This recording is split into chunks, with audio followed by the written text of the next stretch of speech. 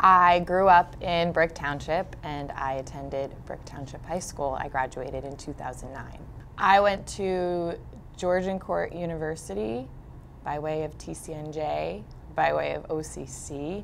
I attended OCC with the STARS program, so if that's something that you can do, definitely take advantage of any opportunity there. I started working at Brick Township High School in the 2016-2017 school year.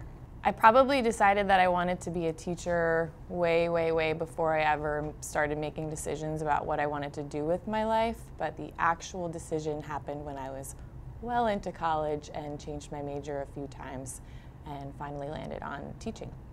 I teach mathematics at Brick Township High School. Currently, I'm teaching Algebra 2, Pre-Calculus, and Algebra 1. What I love about being a teacher is just getting to be a part of all of it, you know, students' lives, the, the community, the school, all of it.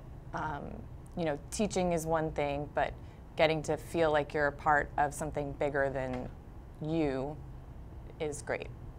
Besides teaching, I don't have time for too much after school. Uh, my co-curricular activities include raising my two babies at home. I would say that the biggest challenge about being a teacher is leaving it in the building. It can be um, tough sometimes when you know, just like anything, your job has its challenges, whether it's trying to catch a student up after being sick for a while, or hearing about things that are going on in their lives, or struggling with stuff in your own life and how that affects your job and what you do every day. Um, and it can be hard to just like leave that in the building and live your life separate from the school and the community. The biggest reward about being a teacher, again, is definitely being getting to be a part of something bigger than yourself.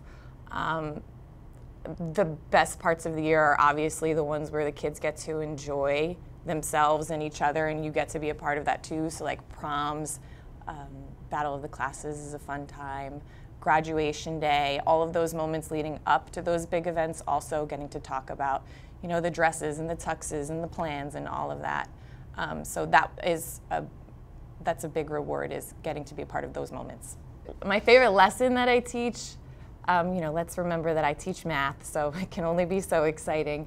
But I really love teaching long division in Algebra 2 um, because it draws parallels to the long division that we all learned like in elementary school, and I geek out a little bit on that. I would say that being chosen as staff member of the month by the students is it means everything. I mean, I you know, I, I do what I do because I love to do it and I like I like to interact with the students and get to know them.